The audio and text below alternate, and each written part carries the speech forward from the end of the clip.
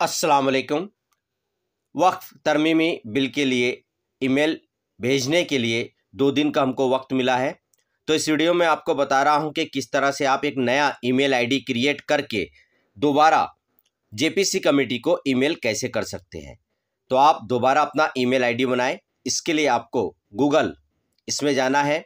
Google में जाने के बाद ऊपर जो आपका नाम या फ़ोटो है, वहाँ टच करना है। फिर उसके बाद यहाँ ये जो तीर का निशान नज़र आ रहा है, यहाँ पर टच करना है। यहाँ पर टच करने के बाद ये ऐड अनदर अकाउंट यहाँ पर टच कीजिए। फिर आपके सामने ये नीचे इस तरह से आएगा क्रिएट अकाउंट यहाँ टच कीजिए और यहाँ टच करके माई पर्सनल यूज़ या बिज़नेस यूज़ आप कुछ भी कर सकते हो। अब यहाँ आपका फ़र्स्ट नेम के अंदर आप अपना नाम डाल दीजिए सर नेम ऑप्शनल है। नेक्स्ट कीजिए।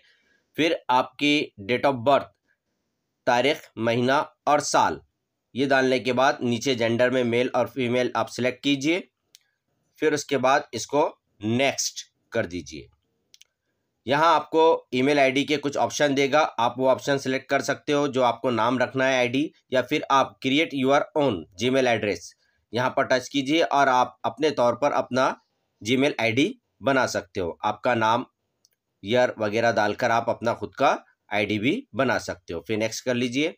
पासवर्ड क्रिएट करना है। पासवर्ड में आपको याद रखना है कि पहला लेटर कैपिटल फिर उसमें एक कैरेक्टर चाहिए और एक डिजिट चाहिए। एट द रेट इस्तेमाल करके आप अपना ईयर डाल दीजिए। फिर इसको रेक्स कीजिए। फिर इस तरह से आएगा। इसको स्क्रॉल अप करके यस आई एम इन कीजिए। फिर यहाँ आपका रिव्यूज़ देगा। आपका नाम ईमेल आईडी उसको ओके कर दीजिए। फिर इस तरह से आएगा। टर्म्स इसको एग्री कीजिए।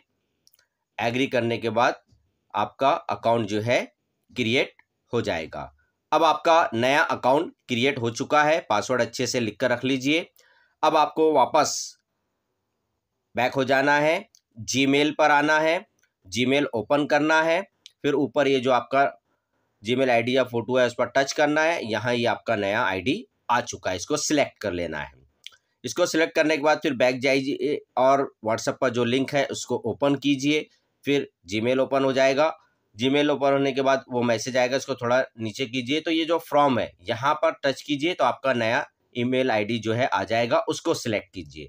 उसको सिलेक्ट करने के बाद आप फिर अपना सिंसियरली के नीचे अपना नाम लिखकर दोबारा जेपीसी कमेटी को ईमेल सेंड कीजिए। तो इस तरह से आप नया अकाउंट क्रिएट करके जेपीसी कमेटी को भेज सकते हैं। तो ज़्यादा से ज़्यादा लोग अगर अपने अकाउंट को रिक्रिएट करें, नया अकाउंट बनाए तो हमारी तादाद दुगनी हो चक, हो सकती है। इसलिए इस वीडियो को ज़्यादा से ज़्यादा लोगों में शेयर करें और please subscribe E for you activities